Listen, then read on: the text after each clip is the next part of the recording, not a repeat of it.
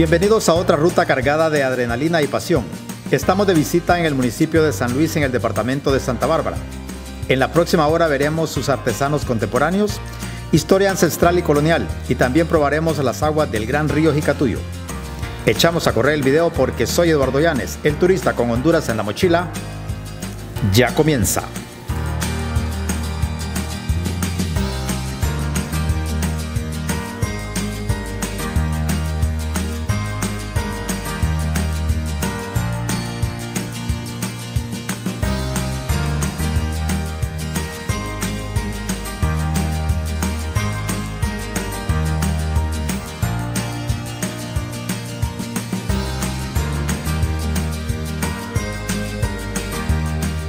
Salpicado por las espumas del ruidoso río Jicatuyo y arropado por las sombras de las brumosas montañas que lo bordean, se erigió desde hace años este pequeño poblado que durante muchos años fue apenas una aldea de su ahora vecino pueblo de San José de Colinas, en el departamento de Santa Bárbara.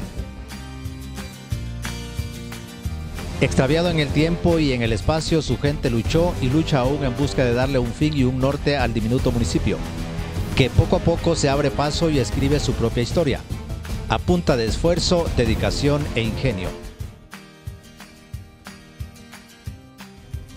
Con un clima lluvioso hasta la embriaguez de los montes y praderas, esta es tierra próspera para la agricultura y la ganadería. En su parte baja, en las fértiles vegas del río Jicatuyo, los campesinos se especializan en la producción de granos básicos, con fines de subsistencia. Por eso todo el año vive adornada por las esperanzadoras milpas y frijolares, mientras que en su región fría y montañosa domina el cultivo del café, el rubro más importante para la economía local. Dedicado al trabajo, el pueblo poco a poco se olvida de su pasado aldeano. Apenas algunos cuantos edificios antiguos que superan el siglo de existencia y que están distribuidos en su plaza central y algunos rincones de su ahora moderno casco urbano Junto a la nueva arquitectura que cada ciudadano le ha ido dando a sus casas, los gobiernos locales se le han ido aportando más a esta nueva tendencia, con un hermoso palacio municipal que delata el estilo futurista del pueblo. El escenario de la primera cuadra urbana es completada por un impecable y bien diseñado parque central, donde se concentran las familias en sus momentos de ocio.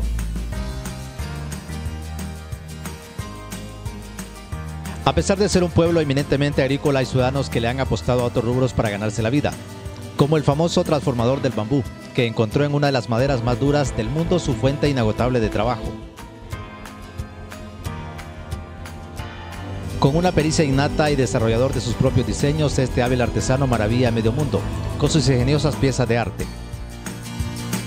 Gracias a su tenacidad e ingenio, este bien nacido lugareño escribe cada día su propia historia. A propósito de historia, este municipio tiene un icono que lo conecta con el pasado colonial. Se trata de la ribereña aldea de Yamalá, que fue durante varios siglos atrás un interesante emporio agrícola para la corona ibérica. Sin embargo, cuando Yamalá estaba en su apogeo económico fue víctima de una repentina epidemia de cólera, que arrasó prácticamente con toda su población, condenando al pueblo al abandono.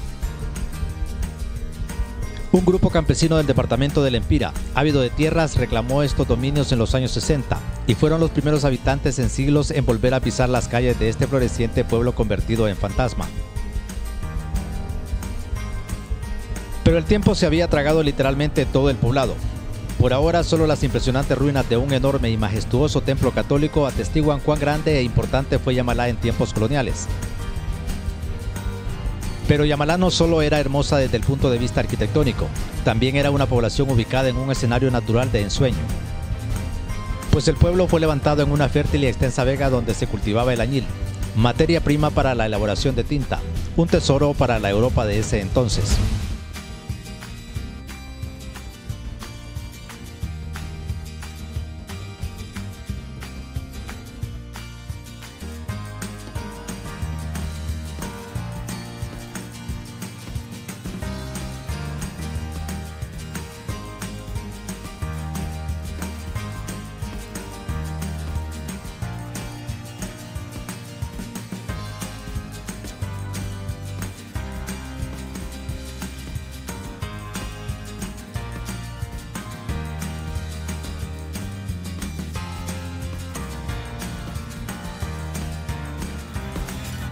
Próspero pueblo de San Luis en el departamento de Santa Bárbara contrasta con el inicio de su devenir histórico como poblado, cuando sus habitantes se limitaban a una sola familia. Para ese entonces era apenas una aldea cuyo nombre era El Pajón y que políticamente pertenecía al municipio de San José de Colinas. A medida la aldea del Pajón crecía en población y en su capacidad económica, germinó en sus habitantes la necesidad urgente de separarse de San José de Colinas, más que por un capricho, por un asunto geográfico.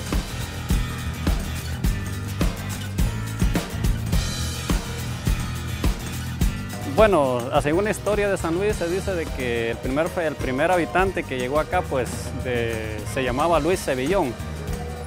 Eh, fue la primera casita que hubo acá en, ¿verdad? ¿Él venía de dónde? Él venía de, supuesto, de Colinas. Colinas Santa Bárbara siempre. Así es. ¿Y llegó buscando aquí qué cosas? Bueno, pues quizás pues le miró la, lo bonito de las tierras y se vino a habitar acá donde sucesivamente pues fue creciendo la población, ¿verdad?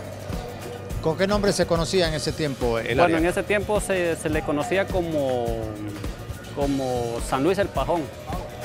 El Pajón. ¿Qué quería decir eh, Pajón? ¿A qué le llaman Pajón?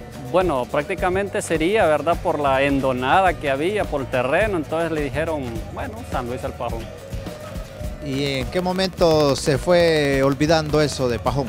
Bueno, a medida que la población ¿verdad? fue creciendo, ¿verdad? ya, ya el, municipio ya fue adquiriendo ya eh, a términos que fue creciendo ya municipio, entonces mm, se, ya se, se, decretó, ¿verdad? Ya convertirlo en municipio, desligarse de Colina, ¿verdad? Independizarse de Colina.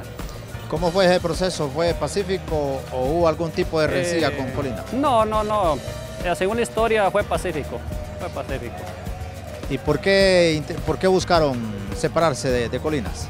Bueno, por el crecimiento, primero, primer lugar va por el crecimiento poblacional, ¿verdad? que fue creciendo a medida de que fueron viniendo más personas, más, más, más descendientes del municipio de Colinas y llegó un término de que el municipio creció y ya buscó independizarse. Es decir, que la mayoría de personas llegaron de, Colinas aquí a, San Luis. Eh, sí, el, podríamos decir el 30% colineños, correcto. ¿Y, lo de San Luis por qué? Bueno, más que todo San Luis, ¿verdad? Eh, pues a medida que fueron viniendo más, más, más habitantes, ¿verdad? Y fue creciendo la población, pues eh, ha surgido un municipio pintoresco, bonito, en el cual pues es lo que tenemos actualmente. Bien, hay unas casas antiguas que rodean aquí la, plaza central. Este, Correcto, de, qué fecha data y, quiénes bueno, fueron los... pues se rumora, ¿verdad? Que estos edificios, estas, estas casas que usted puede ver que se miran ya, ¿verdad? Con estilo contemporáneo, pues se ve que tienen, oscilan entre 90 a 100 años de, de, construidas. ¿Tuvieron que ver algo los españoles en, en San Luis o no? Eh, no, no, no, no, no. Simplemente, ¿verdad? A medida que, como le repito, creció la población, pues sí, en, el, en, los, mm, en los tallados de los edificios viejos que usted puede observar, pues sí se mira, ¿verdad? Estilo, estilo según fabricaban las casas los españoles, pero yo creo que esto ya es copia.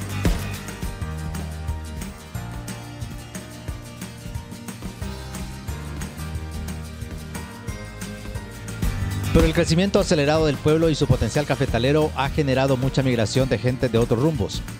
Y estos en muchos casos se han tornado en hechos sangrientos.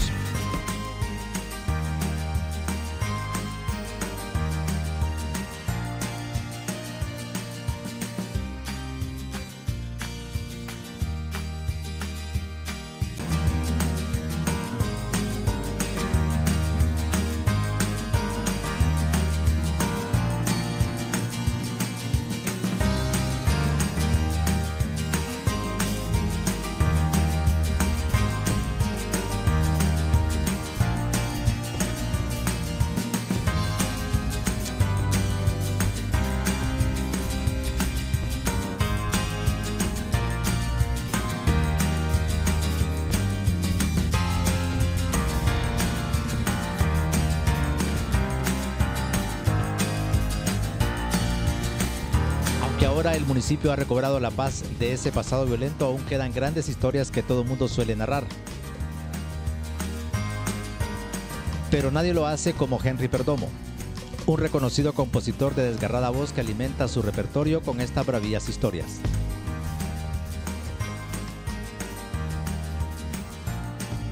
O sea que para hacer una canción de esas, uno cuenta con los familiares, cosas así, porque así, recuerde que cuando uno hace una canción y mienta a alguien así, entonces uno corre peligro. Pero uno, uno cuenta con los familiares para hacer una canción. O sea que uno recuerda, eh, trata de, conseguir la historia, cómo fue, cómo aquella, cómo fue la vida de aquella persona y uno forma la canción. Y ha habido mucho de ese tipo de, acontecimientos en San Luis. Sí, aquí han habido bastantes. Puede decirse que es un, ha habido un pueblo así muy este, violento. Sí, pues sí, eh, pues sea que ah, tal vez gente que se vienen de otros lados, que hacen cosas en otro lado, y aquí siguen lo mismo, entonces aquí los, los friegan, sí. sí. No porque toda la gente aquí es, buena, es amable, es humilde. Voy a contarles, señores, este es un nuevo relato. Matan un hombre valiente el año 94. Ese día 5 de abril, un día martes corría.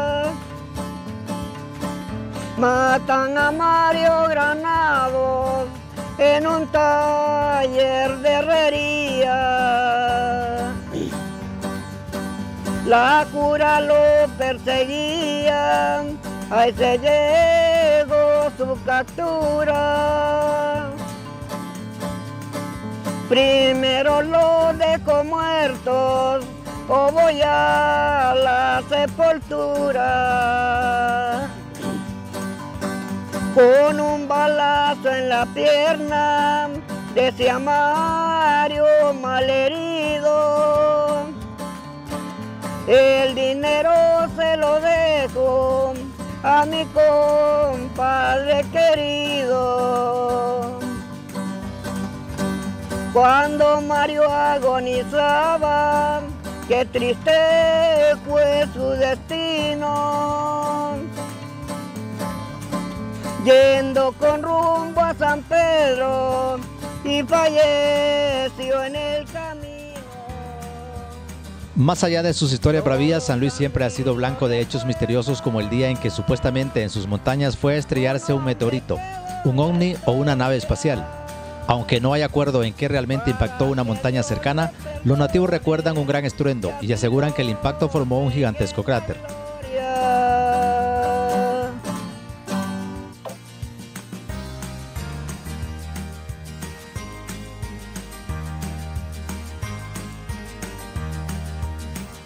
Sector, una montaña que le dicen Cerro Negro. Allí, pues, donde cayó el supuesto meteorito, ¿verdad? Se hizo una profundidad como de 7 metros. Eh, como 2 hectáreas abarcó el, meteorito en el impacto que hubo. es decir, formó un cráter. Formó un cráter, correcto. Hubo un hundimiento de tierra por la presión de, que ejerció el supuesto meteorito. ¿Por qué ustedes eh, presumen que era un meteorito? Bueno, por eh, la luz que se miró, ¿verdad? Que nosotros observamos la luz que venía en dirección como quien dice que iba para San Pedro Sula, ¿va? de norte a, a este. Y en repentino movimiento pues hubo un cambio y, y giró al oeste. ¿Y se vio, se iluminó el pueblo? Eh, no, solo se miró la luz, eh, la luz y el impacto que se escuchó ¿verdad? y el, estremecimiento de la tierra. Ustedes como, Sentimos como temblor. ¿Y qué pensó la gente? ¿Hubo pánico en ese momento? Eh, bueno, en ese momento la gente, sí, la gente de los alrededores, ahí las aldeas, como decir, Nueva Esperanza, Las Delicias, Santa Elena, el Playón, ¿verdad? La Unión. Eh, sí, la gente se alarmó, ¿verdad? Se alarmó por el impacto que se escuchó como cuando una bomba explota, ¿verdad? Entonces, eh, mucha gente acudió al lugar. Lastimosamente que cuando se va llegando al lugar de los, de los hechos, ¿verdad? ya andaban dos helicópteros supuestamente de los americanos, ¿verdad? Ya recogiendo el, objeto que cayó ahí. Eh, ¿Es probable que haya sido también una maniobra militar o...? Eh, podría haber sido algún experimento que ellos hicieron y, ¿verdad? Que atentó hasta con la, con la población hondureña, pero no lo sabemos. Eh, bueno, yo me recuerdo que cuando fuimos a ver allí no los dejaron acercarnos al objeto, sino que estuvimos a una, eh, a una distancia como de 200 brazadas. ¿Y qué les dijeron? Eh, no, solo nos dijeron de que ellos andaban recogiendo el objeto que, que, cayó allí, pero nunca nos dijeron si era meteorito o era algún objeto enviado por ellos mismos. No, nunca dijeron nada de eso.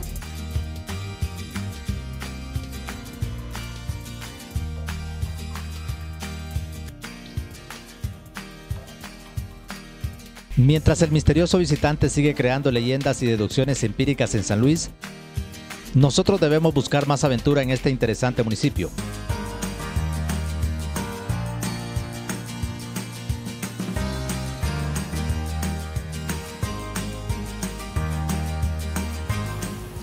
Es momento de viajar en el tiempo a la época colonial de San Luis Santa Bárbara. Para eso nos dirigimos al viejo y olvidado pueblo de Yamalá.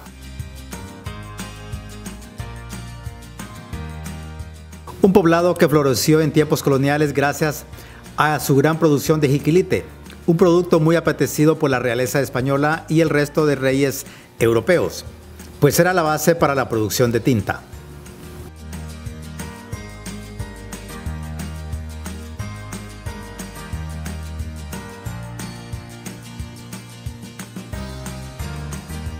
Pero la bendición del jiquilite fue sustituido súbitamente por la maldición del cólera morbus,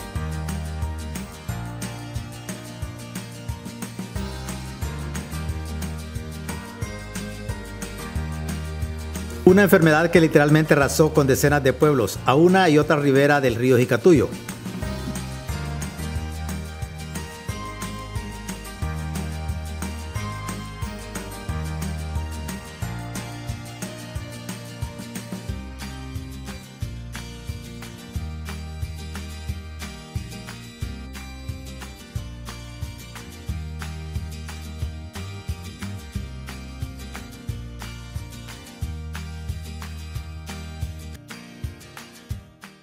Como resultado, los pocos sobrevivientes de la tragedia huyeron dejando a Yamalá a su suerte.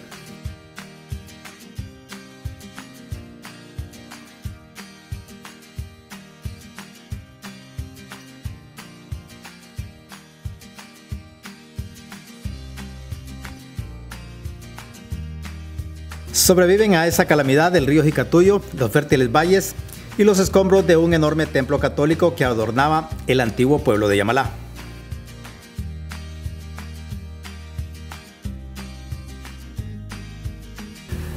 Olvidados los efectos del cólera morbus, Yamalá fue nuevamente poblado por habitantes que llegaron desde el departamento del Empira y también de Intibucá.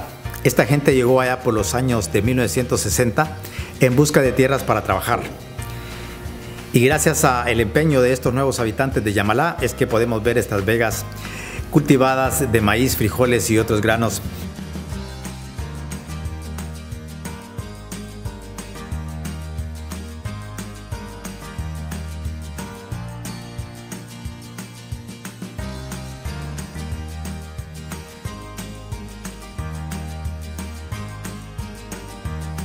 de antaño apenas quedan un par de torres y un pequeño salón donde aún se reúne la feligresía católica.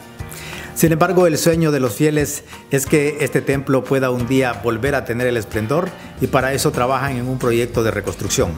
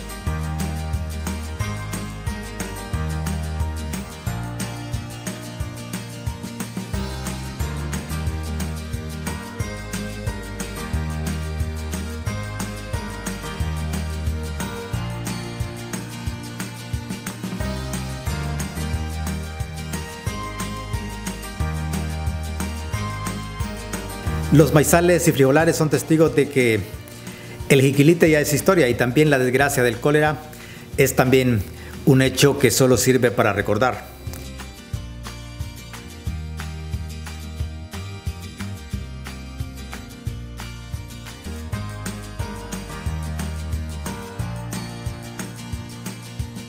Lo que se produce acá es, eh, maíz, frijoles, eh, sí eso. Y ya como mira también ya se empieza a producir coco, eh, ciruela, también es un experto el clima para eso. ¿Y ustedes cómo, cómo se organizaron o cómo está organizado el- el- aquí la, la comunidad? Bueno, la organización pa- eh, eh, se viene dando a partir de, de- de que se, de la necesidad que se tiene de la tierra, por lo menos en, en los años eh, de 1976. Eh, por allí se, se inventó a través de la Iglesia Católica, creo yo, que instruyó a la gente porque aquí se trabajaba eh, quintado. El dueño de la tierra le quintaba aquí a la gente, venían de la de San Francisco, allá vivía la gente, entonces venían a trabajar acá. Entonces se vio que no era nece- o mucha dificultad y que la tierra estaba ociosa, entonces orientados por un sacerdote creo, eh, la gente tomó la determinación eh, de venirse a tomar las tierras aquí porque como estaban ociosas y había un decreto que, que sí eh, los, los avalaba. Entonces fue, creo que en 1976, un 11 de octubre, se vino la gente a posesionar de esta tierra. Como así nació la, la- la comunidad se fue formando la, o sea, nace- se fundó la organización como, como Grupo Campesino Unión Lempira, después se fue formando la comunidad. Lo de Unión Lempira es porque vino mucha gente de Lempira. Exactamente, por eso se le puso así al, al- al grupo. ¿Quinteado qué es, amigo? Eh, Quintado es de que el dueño de esta tierra eh, eh, les daba para que trabajaran así y eh, la gente pagaba, bien daba, dicen que le daban dos anegas de maíz por, por cada manzana de maíz, o sea, pa- por la manzana de tierra que, que- que ellos...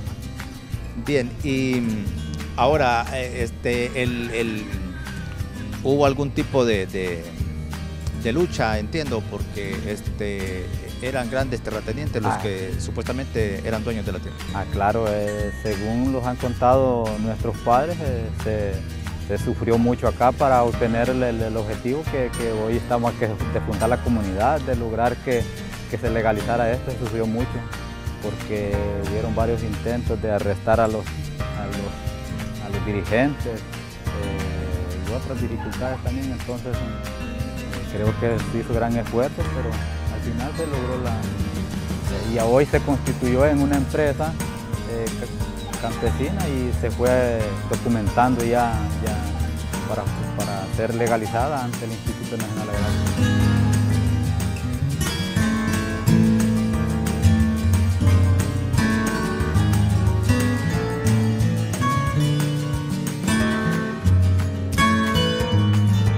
Los campesinos que ahora ocupan este lugar llegaron provenientes del departamento de Lempira y aunque no son una tribu propiamente dicha, mantienen rasgos sociales estilo tribal, como por ejemplo la propiedad comunal de la tierra y el aprovechamiento equitativo de los recursos naturales.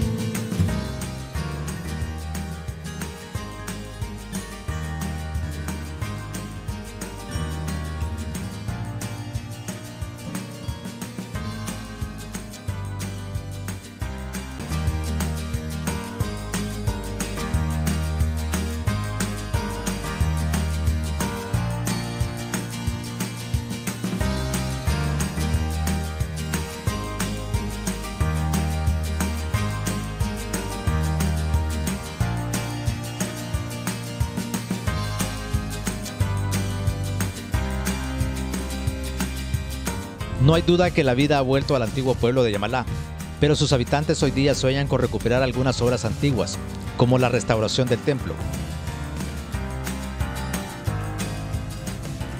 Está claro que es un reto millonario, pero de interés nacional y que valdría la pena realizar.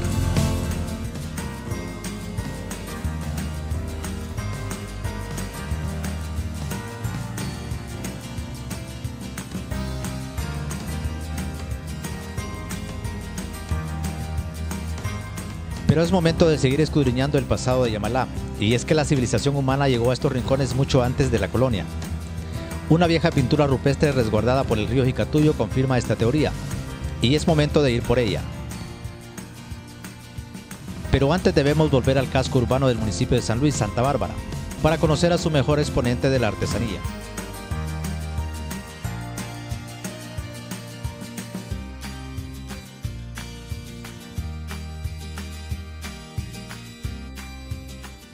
Así llegamos al taller de artesanías Bambulino. Largas cañas de bambú revelan el porqué de este nombre.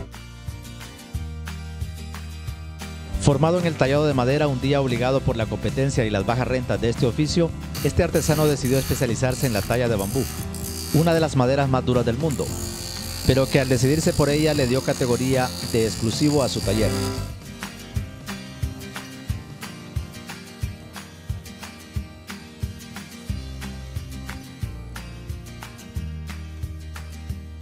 La competencia en la madera, entonces dije yo voy a buscar algo más original que yo manejo y, fue como me metí a hacer recuerditos, cuestiones. Empecé haciendo anillos, anillos eh, así, ¿verdad? Y los hacía muy bonitos de bambú.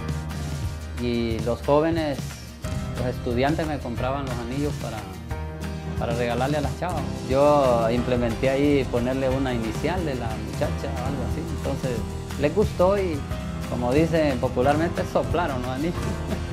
y, y eso me motivó pues a comenzar a, buscarle otra forma, porque agarrar una vara de estas, a veces la mente se le queda a uno un poco así corta, pero dije yo voy a intentar a, a diseñar cosas y empecé haciendo pues lo que ustedes ven acá, ¿verdad? Muchas cosas son, son puro bambú, ¿verdad? Entonces yo empecé a, a unir piezas y cosas y, le, fui, le fui encontrando el, el camino, ¿verdad?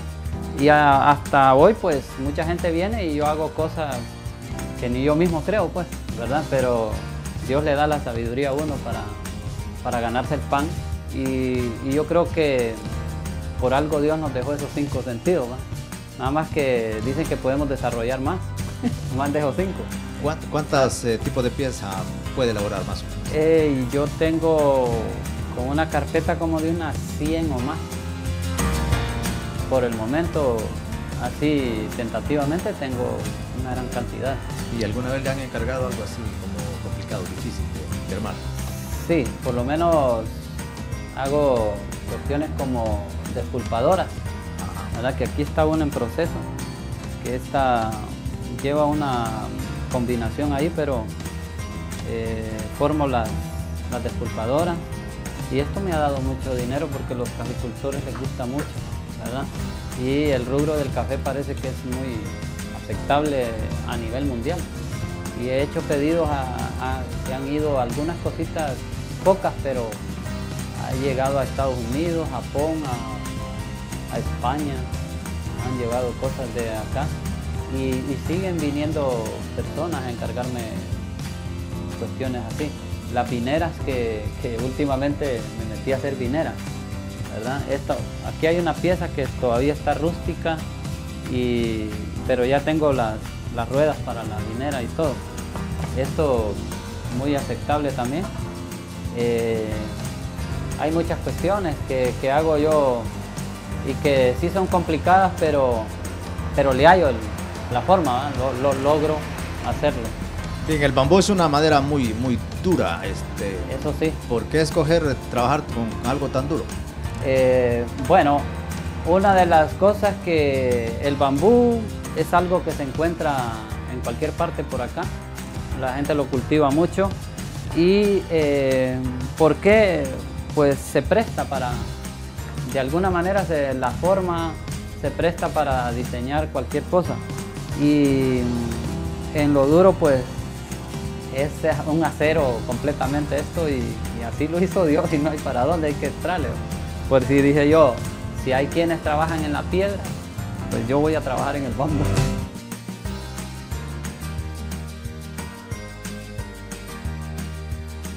Pesar de la dureza y su casi inmoldeable forma cilíndrica de las cañas de bambú, con ingenio se puede hacer casi todo y con una belleza impensable.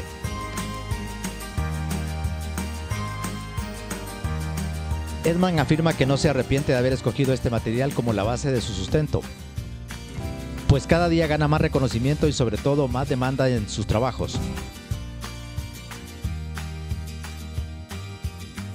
No en vano es el hombre que más provecho económico le saca a una simple caña, tosca y dura en demasía.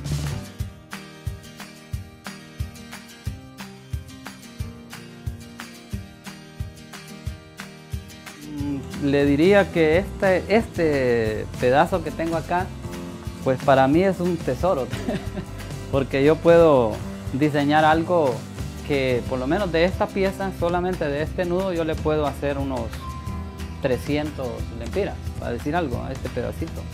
Si yo lo sé diseñar, ¿verdad? No digamos, tengo ahí uno, dos, tres, cuatro, cinco canutitos de estos. Entonces, imagínense que la lata tenga 40 canutos de eso, ¿no?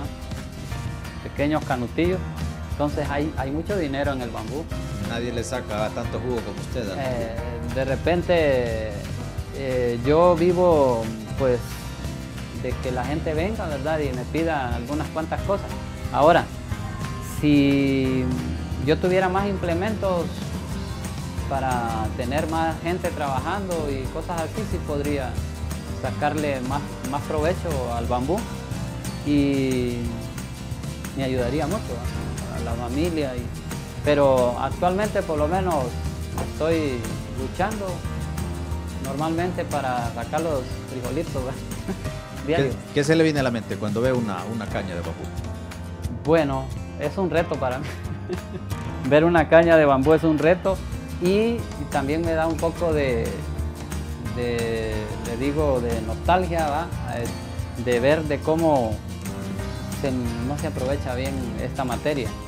Y es una forma de cuidar el medio ambiente también porque el bambú es fácil de, de cultivar y también se le saca diversidad de provecho, puede hacer cercos, puede muebles, puede hacer artesanía. eh, incluso los viejitos de antes guardaban acá la- el billete. Entonces puede servir hasta de caja fuerte.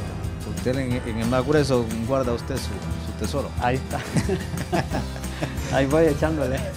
Ahora, este, mm, eh, hay ya una siguiente generación de, gente, bueno, está muy joven todavía, pero, pero ya hay gente preparándose para tomar la batuta o no le gusta trabajar esta cosa. Bueno, eh, han intentado algunos jóvenes, ¿verdad? Pero eh, la juventud primero dice cuánto me va a dar. Yo no tengo el recurso así como para sostener a una persona eh, que yo le esté enseñando a mi, mi oficio. Y muchos han probado ahí, han intentado, pero se han quedado en el camino. De repente por la informalidad ¿verdad? que la misma situación de vida de uno tiene, pero si yo pudiera garantizarle por lo menos algo mínimo a una persona para que se valga, porque no puede estar solo aprendiendo, aprendiendo y, no recibir nada, porque algún provecho puedo sacar yo de las piezas que saca y todo. En eso soy considerable, pero lo mismo, la, misma situación, no me, bueno, debería estar en una, en una galera más, mm, más adecuada, pues, ¿verdad? Necesitaría unos cinco motorcitos de estos que, que ven ahí en el video. La sierra necesita más, necesita taladros, cosas así, ¿verdad? Eh, incluso los mm, famosos quemadores, esos de, de grabar cuestiones así, pues yo veo a otros hacerlo, pero yo todavía me falta mucho.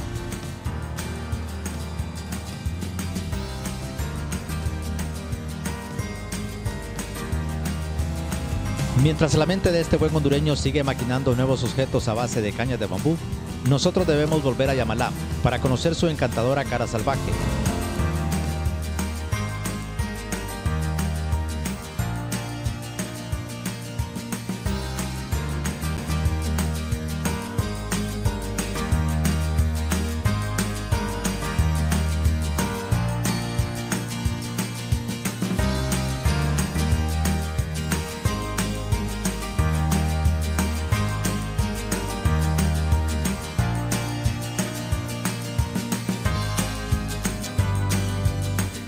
Continuamos recorriendo el municipio de San Luis en Santa Bárbara.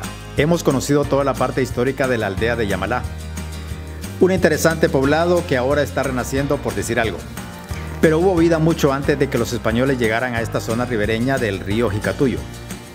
Vamos a ir a conocer una cueva con arte rupestre, el más complicado de encontrar en Honduras.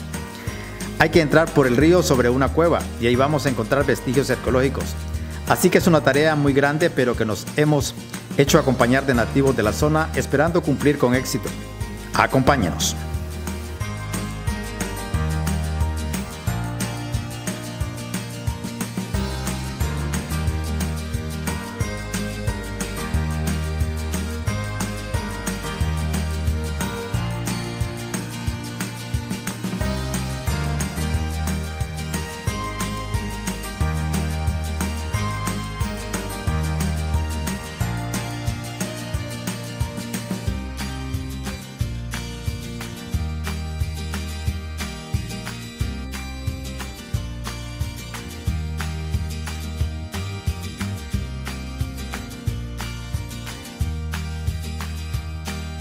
Unos minutos de caminata y estamos en uno de los segmentos más hermosos del río Jicatuyo.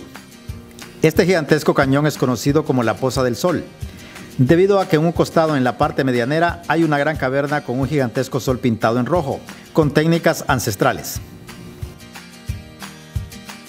Haciendo uso de un par de balsas inflables, recorrimos varios metros a contracorriente.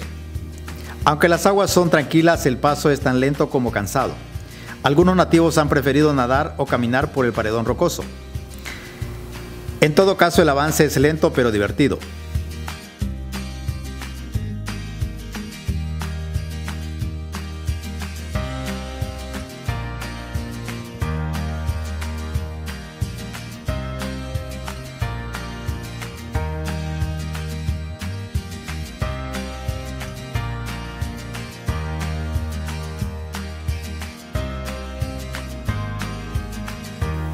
Aunque parezca exagerado, tardamos alrededor de unos 30 minutos para podernos ubicar en la entrada de la caverna en pleno cauce del río.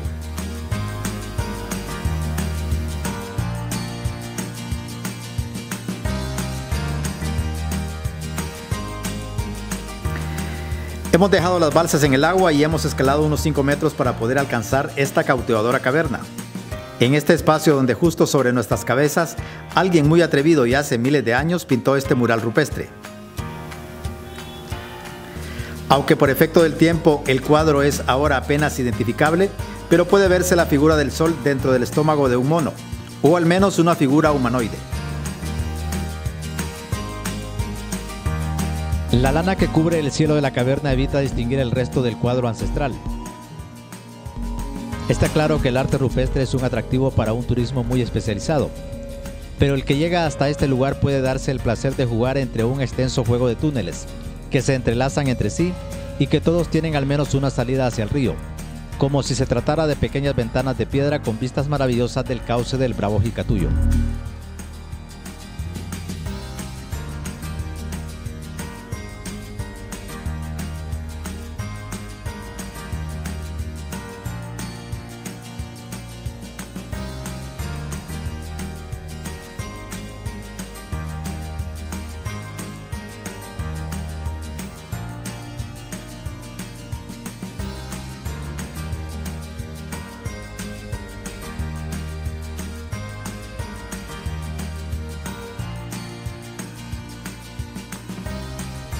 Tras escudriñar cada rincón de este interesante circuito de cuevas es momento de volver a la playa del río para una nueva aventura sobre este soberbio caudal.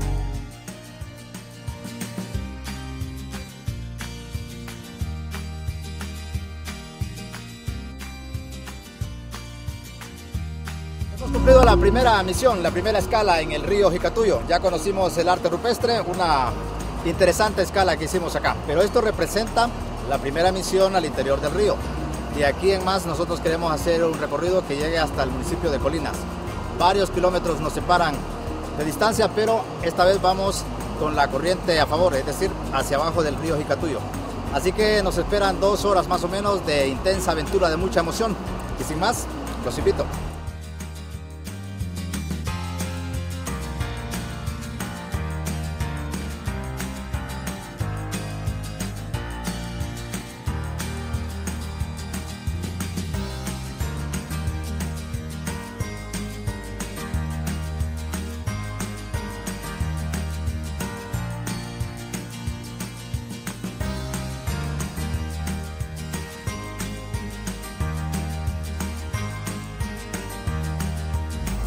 Nuevamente estamos en las balsas. Un grupo de lugareños nos acompaña al menos en el primer tramo del recorrido hasta llegar a la altura de Yamalá, donde residen.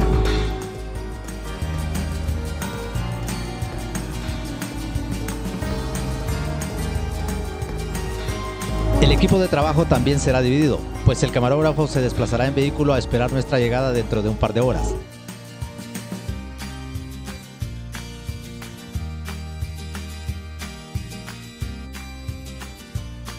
Dentro del río será registrada en video gracias a nuestra pequeña cámara acuática, que alternaré con los remos. Las dos frágiles balsas flotan sobre el poderoso río y mantenerlas a flote es nuestra tarea. Tras unos 40 minutos de entretenida aventura, el equipo se reduce a cuatro personas, pues aquí desembarcarán los últimos lugareños y debemos culminar la mayor parte del recorrido solos.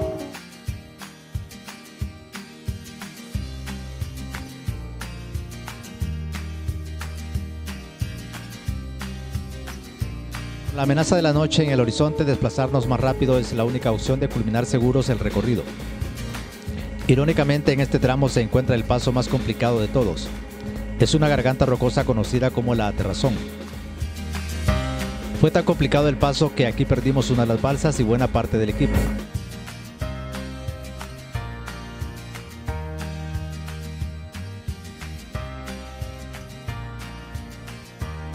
Un gran segmento de este tramo lo hicimos caminando por sus contornos rocosos.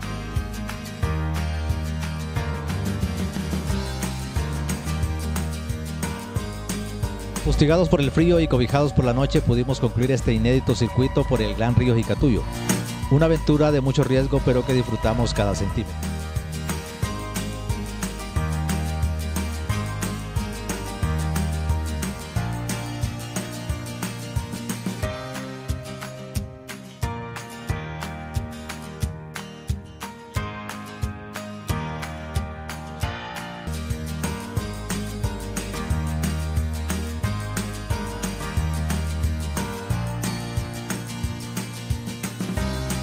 San Luis Santa Bárbara es un claro ejemplo de cómo la historia puede mezclarse con arte contemporáneo y con aventuras de sumo vértigo en el caudaloso río Jicatuyo, para regalar inolvidables aventuras a sus visitantes.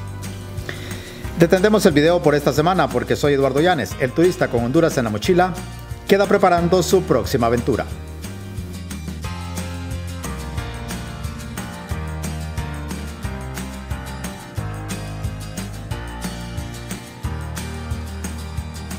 Voy a cantarles, señores, un corrido a todos mis amigos del pueblo de San Luis. Todos los años visito este pueblito, único rinconcito de mi tierra hondureña. ¡Viva San Luis! ¡Que vivan sus hombres! Tierra de mucho dinero, tierra que huele a café. Que viva San Luis, que vivan sus hombres, tierra bendita bañada de luna y de sol.